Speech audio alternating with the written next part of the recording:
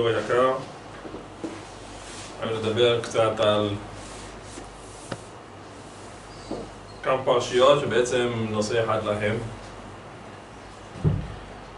כולם מכירים את הסיפור שקרה עם יוסף יחד עם אה, אשת פוטיפר. כמו שיודעים כולם, אשת פוטיפר שמה עין על יוסף ורצה שיבוא עליה. אז גם מספרים שבעצם היא הייתה, היה לה רוח הקודש. איך זה יכול להיות? כזו רשעה עם רוח הקודש? אבל ככה היא אמרה. היא ידעה שהיא בעצם ייוולד לבן ממנו, ולכן היא רצתה שיבוא עליה. לא יכול להיות שמעת איזה בכוכבים במזלות, אז אפשר לדעת כאלה דברים. כן, גם יכול להיות. לא רוח הקודש. לא רוח הקודש, רוח הקוטג'.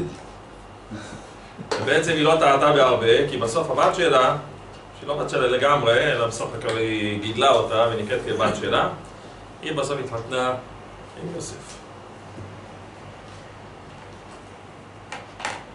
אז כתוב שבאותו יום היה שם חינגה מיוחדת ביאור, וכולם הלכו להודות ליאור, שבעצם מפרנס אותם, דואג להם, מקום גשמים, יש להם מים שם, ואז באותו יום היא מצאה את ההזדמנות לבקש ממנו להיות יחד איתו. והיא תפסה בבגדו, לאמור שכבה עימי, ויעזוב בגדו בידה, וינוס ויצא החוצה. כולם יודעים שהשבטים היו גיבורי כוח.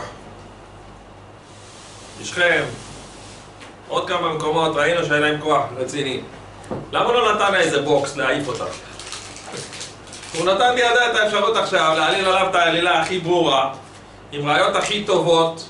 בוקס זה עלילה. אה? בוקס יכול להיות עלילה. לא, אבל אין לה ראיות. יחזור, כן? ייקח את ה... היא הלכה והמציאה עליו שהוא בעצם אנס אותה, אה, הבגד, זה היה ראייה. והב- והבגד שבידה, הבגד שלו בידה, ראייה. זה הראיה הכי טובה, שבעצם אה, זה מה שניסה לעשות. יחזור, ייקח את הבגד. ייקח את הבגד, יחטוף לה, יעשה משהו. זו שאלה שנשאיר אותה במקומה, נענה עליה בהמשך. נעבור ליעקב אבינו. יעקב אבינו נמצא עשרים שנה בביתו של לבן, אוכל הרבה הרבה קש. וכשיעקב איכשהו כבר בורח במצוות אב, הקדוש ברוך הוא, שיברח משם, אז רודף אחריו לבן, ואומר לו, למה גנבת את אלוהי? ואז יעקב מתחיל להוציא את כל מה שהיה בתוך הבטן שלו עשרים שנה, ואומר לו, אכלני בחורף וקרח בלילה. קיצור, מונה לו שמה המון המון דברים. כך נמצא את הפסוק.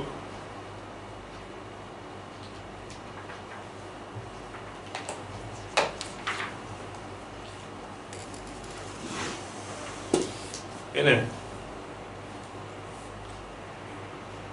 ויחר ליעקב וירב בלבן ויען יעקב ויאמר ללבן מה פשעי ומה חטאתי כי דלקת אחריי כי מששת כל כלי מה מצאתם מכל כלי ביתך? שים כה נגד אחי ואחיך ויחיך בין שנינו זה עשרים שנה אנוכי עמך רחליך ועזיך לא שיקלו כמה טענות הוא טוען לו ואלה צונך לא אכלתי, טרפה לא הבאתי אליך תאר לעצמך בכל העשרים שנה הזאת היו הרבה פעמים שבאו דובים, נמרים, גנבו, אכלו לא טענתי טענת אונס בפניך, אלא אמרתי לך למחרת בבוקר, בבקשה, כבשה קטנה לקחו, כבשה קטנה תקח מכיסי. וככה עשרים שנה. הייתי ביום אכלני חורב, וקרח בלילה, התרגום אומר קרח בלילה, גלידה. הוא לא אכל גלידה, אלא גלידה זה הקרח שהיה עליו, על הגוף שלו. תראו לעצמכם 24 שעות בן אדם עובד. מופיע במדרש שביום הראשון שיעקב אבינו הגיע ללבן אז אה, לבן שמח שמחה גדולה למה? לא בגלל שבא לבקר אותו בן, בן אחותו אלא לבן הזה היה צריך תרפים. תרפים, המדרש אומר, זה פשוט לוקחים בן אדם, בכור בן בכור, כורתים לו את הראש, ג'ינג'י, לא זה ג'ינג'י. אה? ג'ינג'י דווקא. אה, לא. שמעתי. לא יודע. כך שמעתי מה...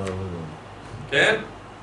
לוקחים בכור בן בכור, כורתים לו את הראש, שמים לו שם איזה שם אה, טומאה בתוך הגולגולת, וככה הוא מזמר. כל מה שאתה רוצה ממנו, הוא מגלה לך. לכן עשיו לא רצה לבוא, כי הוא היה אדמוני. כן, אבל... הוא היה בכור. בן בכור. אז כתוב שהוא נכנס לאוהל ביום הראשון, כן, בלילה, כדי לחתוך את הראש של אה, יעקב. הוא ידע מכך שיעקב קנה את הבכורה, ויצחק הוא בכור לאברהם, כן? אז זו ההזדמנות הכי טובה בשבילו לקחת את הראש של יעקב ולעשות ממנה טרפים. אז הוא ראה את יעקב שהוא ער. אז לבן, שואל אותו, סליחה, שלושה ימים הלכת בדרך, למה אתה לא ישן? אומר, מתגעגע להוריי.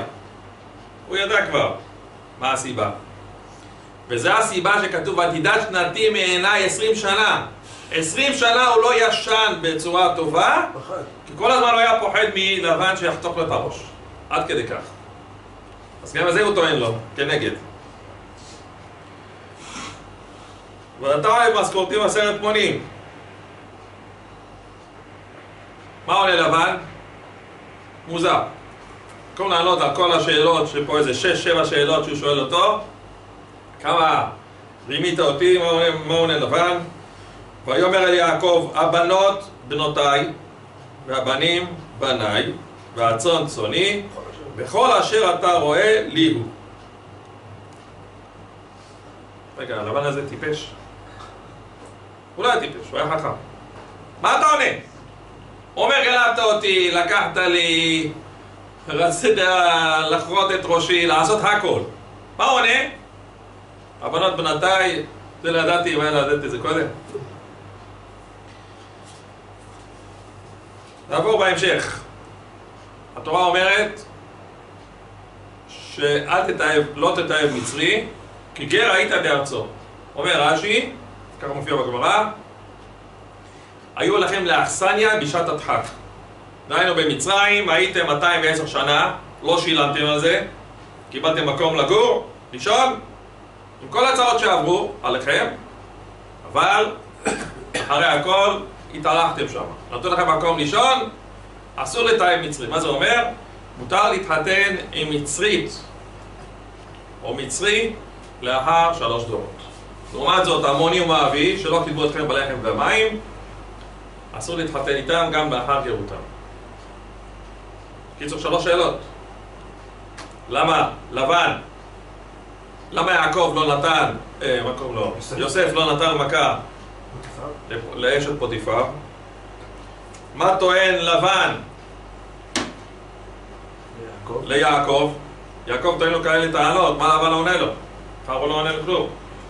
באותה שאלה, מה אנחנו אומרים שלא תאם מצרי גר יותר בארצו? התשובה לכל זה, בזמנו אמר לנו המשגיח, הרב אליעזר בן דוד, שלבן אומר ליעקב, אדוני, עם כל הטענות שלך, אל תהיה כפוי טובה. תאר לעצמך, בא זקן בגיל 84, מבקש להתחתן עם בת שלי בגיל 15. איזה אבא היה מסכים להתחתן איתו? איזה מסכים? תגיד, אתה עושה צחוק? כמעט 70 שנה הפרש ביניכם. אני אתן בן אדם זקן לבן, הילדה עוד יצאה מהסמינר, מה אתה מדבר? אתה יכול להיות סבא שלה. איך תתחתן? ולבן עושה הכל ונותן לו לא רק בת אחת, נותן לו ארבע בנות. המדרש אומר שגם רחל וגם לאה וגם בלהה וגם זלפה הם בנותיו של לבן. הם שתי נשים.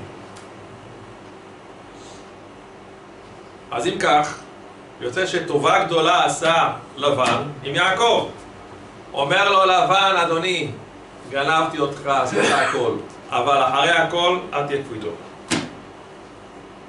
באותה מידה, יוסף לא היה מסוגל לתת איזה אגרוף לאשת פוטיפר. למה? הרי הכל, היא נתנה לך מקום לגור, היא קנתה אותך בכסף מלא, עבדת אצלה, קיבלת, אל תהיה כפוי טובה. באותה מידה, אנחנו במצרים, 210 שנים, 30, 40 מיליון נמצאים שם, שום אומה בלשון לא הייתה מסכימה לקבל כזה אומה, והם קיבלו אותנו. יכול להיות שרדו בנו ושחטו תינוקות ועשו הכל, אבל הרי הכל קיבלתם. אל תהיה כפוי טובה. השאלה נשאלת, האם גם היום צריך לעשות את אותו דבר? נגיד בגרמניה. לפני 800 שנה הצרפתים גירשו את היהודים מצרפת. והמלך הגרמני, הנשיא, אמר ליהודים, בואו. שם צמח המהר"ל, שם צמח רש"י. היערות דבש, זה רבי יונתן אייפשיץ, רש"י היה בצרפת, הוא מת בצרפת. אבל כל אותם גרמנים, בסוף, מה עשו? שחטו את היהודים, שבע וחצי מיליון אנשים מתו. אז מה אתם אומרים? שכשיצאו מהכבשנים היה צריך להגיד תודה רבה? לבקש רשות לצאת? אז איך זה ש... כתוב במדרש שבשעה שמשה רבנו היה אוכל קורבן פסח, אז אמר לו פרעה, בבקשה תצא. אמר לא, אנחנו לא יוצאים. אנחנו צריכים לבקש רשות מכל המצרים לצאת מכאן ממצרים. למה? באנו בצורה טובה, אנחנו גם יוצאים בצורה יפה. לא יוצאים בלי רשות. אותו דבר קורה עם משה. משה רבנו מגיע ליתרו, שתי מדרשים. מדרש אחד שאומר שהוא ברח מפרעה ומיד הגיע למדיין. ובמדיין שואל אותו יתרו, תגיד לי, מאיפה באת? אתה נראה מצרי. אמר לו, כן, ברחתי ממצרים. מה עשית? כן, הרגתי שם איזה מצרי. אה, אם ככה? הכניס אותו לבור, עשר שנים. המטרה שלו בעצם היה לחסל אותו, כי הוא לא נתן לו לא לחם ולא מים. יש מדרש אחר שאומר שמשה רבנו במקום. אה, להגיע למדיין, הוא נסע לכוש. ושם הוא נלחם באיזה מדינה והצליח, ובסוף מינו אותו להיות מלך. 40 שנה. לאחר 40 שנה ביקשו ממנו להתחתן עם המלכה, הוא לא הסכים מחמת שהיא גויה, ובסוף הוא יצא משם. ואז הוא מגיע למדיין, שואל אותו איפה היית? אומר, אני הייתי מלך במדיין, ב- בכוש. מאמין. אומר לו, אז מה אתה עושה פה? אומר לו, משה, פשוט מאוד, לא רציתי להתחתן עם אה, המלכה, הגויה, לכן באתי לכאן. אומר, אני לא מאמין לך. שם אותו בבור עשר שנים, ודאג לכך שאף אחד לא ייתן לו לחם ומים. בסוף, אחרי עשר שנים, הבת שלו, ציפורה, אומרת ליתרו, תשמע, השארת בכלא עשר שנים ללא לחם ולא מים. בוא נבדוק מה מצבו. היא לא גילתה לו שבעצם היא מפרנסת אותו כבר עשר שנים בתוך הבור. ואז הוא אומר, טוב, בוא נלך ונבדוק. הוא היה ברור לו שהוא רואה עצמות. בסוף הוא רואה את משה רבנו מתפלל. אז הוא חיכה עד שיגמור תפילתו ושואל אותו, תגיד לי, איך אתה חי? עשר שנים היית בלי לחם בלי מים. אומר, זה שהתפללתי הוא שנתן לי לחם לאכול. אז תראו לעצמכם, אם עכשיו אבא כזה יגיד לחתן משה רבנו, תשמע, אני רוצה לתת לך את ביתי לאישה. יגיד לו, תשמע, אדוני, החסר כזה אני לא לוקח. מה עושה משה רבנו? בדיוק ההפך. במקום לזלזל בו, לוקח את ציפורה לאישה. למה? כי היא פרנסה אותו, אסור להיות כפוי טובה. עם כל מה שמסביב, שהוא לא טוב, אבל אחרי הכל אסור להיות כפוי טובה. עד כדי כך מספר המדרש, שבשעה שהוא נשא את ציפורה לאישה, תראו לעצמכם איזה תנאי עשה איתו. אמר לו, אני מוכן שתישא את ביתי לאישה, בתנאי שאתה לא עוזב את מדיין בלי רשותי, וגם הבן הראשון שייוולד יהיה כומר לעבודה זרה. משהו פלא, אני לא מבין. הרי הוא עזב את העבודה הזרה. ולכן גירשו אותו. גירשו את בנותיו. מה קרה פתאום שהוא להוט אחרי עבודה זרה, שהנכד שלו הראשון שייוולד יהיה הפוך להיות כומר? לא מבין. עבודה זרה אבל זה התנאי. עבודה זרה אחרת. מה? אולי עבודה זרה אחרת. אבל הוא עזב את כולם הם פשטו.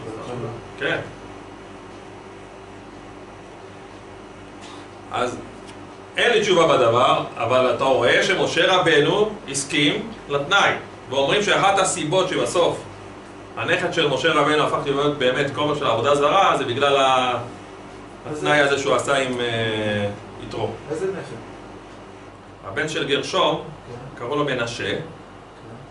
הוא הפך להיות כומר לעבודה זרה בבית של אה, אה, מיכה. כתוב שמיכה לקח פסל, ובעצם הוא שם בתוך הפסל את השם המפורש שכתוב על אישור, על אישור, מה שכתוב אצל משה. זה נראה עגל. כתוב שמשה לקח את הטס, כתב עליו על אישור, וזרק אותו לתוך היאור, שם היה טמון אה, יוסף, ואז הוא התרומם כלפי מעלה. אז מיכה לקח את הטס הזה, שם את זה בתוך הפסל, והוא הבעיר את הים. אז כתוב שמלאכי השרת רצו להורגו. אמרו מה זה? בקריאת ים סוף אתה עושה נס לאדם שלוקח עבודה זרה איתו? אמר, עזבו אותו, פתאום מצויה לעוברי דרכים בעתיד. בעתיד הוא פתח בית עבודה זרה, הוא עשה כמו בקרסטיר, כן?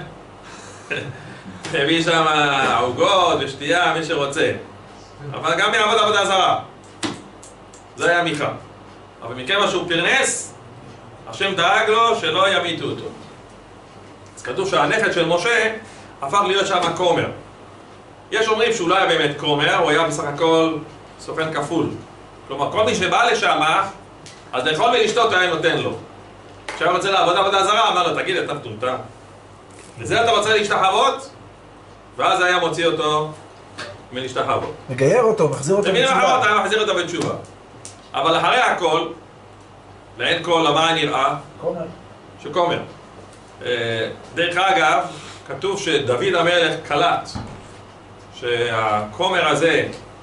הוא בעצם הוא נכדו של משה והוא הבין שהסיבה לכך שהוא הפך להיות כומר זה מחמת שהוא עני והוא רוצה כסף אז הוא מינה אותו להיות שר האוצר בארמון שלו. אז הוא הפסיק להיות כומר? והוא הפסיק להיות כומר. ושלמה המלך גם המשיך את זה אחריו ולאחר ששלמה המלך נפטר אז הוא חזר לסורו. ככה אומרים. טוב, לא משנה, בקיצור, מכל הדברים האלה אנחנו לומדים דבר אחד האדם בעולם, הרב שאל שאלה עם הגרמניה, צריך להגיד להם תודה רבה או לא? או, לא ענית. לכאורה, צריך להגיד להם תודה רבה? סיפר לי מישהו דווקא מעניין שהוא היה בארצות הברית הוא היה בארצות הברית וביקשו ממנו לעשות סדר פסח בלוס אנג'לס ו... אני לא יודע, לפני כן הוא ידע או לא ידע, אני לא יודע בדיוק. בקיצור, הוא מגיע שם לליל הסדר ורואה לפניו רפורמים. כל הציבור, לא יודע מה, 100, 200 איש, משפחות, כולם רפורמים. אז אה, הוא עשה להם קידוש ו... איך שהם התיישבו, התיישבו ככה מאחרי הקידוש אז אמרו לו מתי אוכלים? עכשיו הוא, הוא, הוא בא לשם כדי לעשות שם הגדה של פסח אז הוא רצה לעניין אותם אז הוא אמר להם תשמעו כמו שאתם יודעים בהגדה של פסח מופיע שיש ארבעה ארבעה בנים, דיברה תורה, חתם, רשע, שלא יודע לשאול ומצווה לשאול בליל פסח. אני היום מוכן לענות, לכ... לענות לכם על כל השאלות שתשאלו. ואני יודע מה כואב לכם מאוד. איפה הקדוש ברוך הוא היה בשואה? גם על זה אני הולך לענות לכם. הם רק שמעו את זה, יאללה. התחילו להתעניין, להיות ערני. ואז הוא ניהל את הסדר ביד רמה, קרא להם את ההגדה, ואז אה, אני עדיין לא שכחתי את השאלה, השאלה הגדולה מאוד, איפה היה הקדוש ברוך הוא בשואה? אז הוא אמר להם, תשמעו, עם ישראל גם ירד למצרים. מה יצא מזה בסוף? יצא דבר טוב או דבר רע? דבר טוב. למה? כי אם לא יורדים למצרים, לא מקבלים תורה, לא מקבלים את ארץ ישראל. איפה היה הקדוש ברוך הוא בשואה? מי שהיה שם, באמת ראה רק רע. אבל מי שהגיע לארץ וראה שניתנה לו מדינה שיכול לעשות בה מה שהוא רוצה, כן, ואין עליו שלטון של גויים, מבין שזה דבר טוב. אדם באמצע הסרט הוא במתח, אבל הכל דמיון. למה? כי הוא יודע שבסוף הבמאי גורם את כל הסיפור הזה כדי שבסוף יצא דבר טוב. רק השאלה באיזה צורה הוא עושה את זה. לפעמים זה מתח, לפעמים זה מצחיק, אבל בסוף זה נגמר בטוב. באותה מידה ברוך הוא מתנהג איתנו. היה פעם אחת מישהו שחלה בשחפת. שלא נדע, זה מחלה קשה מאוד, מדבקת. בעבר, כדי לשקם את המחלה הזאת, כמו שעושים היום בידוד, שם הוא היה צריך להיות רק בין חולים, בתוך בניין סגור. הרופאים שנכנסים מתמגנים בצורה לא רגילה, כן, מכוסים כמו, כמו, אלה.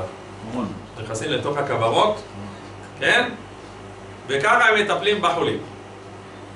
עכשיו, הוא היה בחור מאוד מאוד צעיר, ומי שחלה בשחפת, ככה אומרים שתוך כמה חודשים הוא גומר את החודש. הוא גומר את החיים שלו. אין מה לצפות ממנו. עד כדי כך, הייתה שאלה, תפילין, שהשתמש בה בעל שחפת, האם מותר לשרוף אותם? האם מותר לשרוף אותם? וכמה שאני זוכר, פסקו שצריך לשרוף אותם, למה? כדי שלא להדביק אחרים. עד כדי כך. בקיצור, אותו אדם, שמו אותו בבית חולים לחולי שחפת. והייתה לו משפחה גדולה, ומאוד מאוד כאב לו. למה הוא בגיל 25 הפך להיות כזה בודד? לא מתאים לו. והנה, פרצה השואה, את כל האחים שלו, את ההורים שלו לקחו לכבשנים, ובבניין הזה הנאצים עצמם פחדו מלהיכנס. למה? מחלות. הם בעצמם ידבקו, זה לא משתלם. אז הם עזבו את הבניין, וכל אותם חולים אצלו? ניצלו לאחר השואה. הוא חי עד גיל 105, אותו אדם. אז כשהוא ראה את המצב הזה, מה הוא הבין? יש בו דבר רע. אבל לבסוף, יצא דבר טוב. יוצא שכל דבר רע שאנחנו רואים אותו, כן? זה באותה מידה, גם יוסף, למה לא מאס באשת פוטיפר? עם אבידו בניסיון, צריך לתת לה מכות. ולא לכבד אותה. כי הוא הבין שבעצם כל ניסיון שאדם עובר אותו, למה נקרא ניסיון בלשון ניסיון? כי זה מעלה אותו על נס, כלומר הוא מרים אותו כלפי מעלה. איך הקדוש ברוך הוא בחן את אברהם אבינו, האם באמת הוא נאמן וירא השם? על ידי עשרה ניסיונות. בזה הוא העמיד אותו בכל המצבים. יהי רצון שאנחנו גם בעזרת השם נכיר תודה, לא נהיה כפוי טובה מול בוראנו, וניתן תודה על כל מה שנותן לנו הקדוש ברוך הוא, בעזרת השם. חזק וברוך.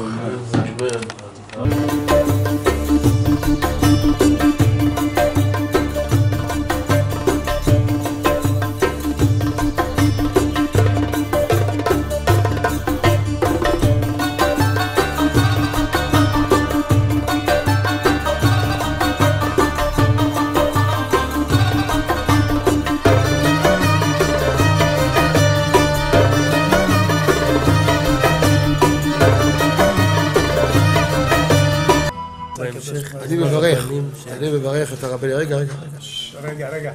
רגע. אני מברך את הרבנים, הרב ירון ראובן, הרב אפרים כחלון, ראשי ארגון בעזרת השם, שהלכו בפי עליון, שעלו מעלה מעלה, יהיה להם ברכה והצלחה.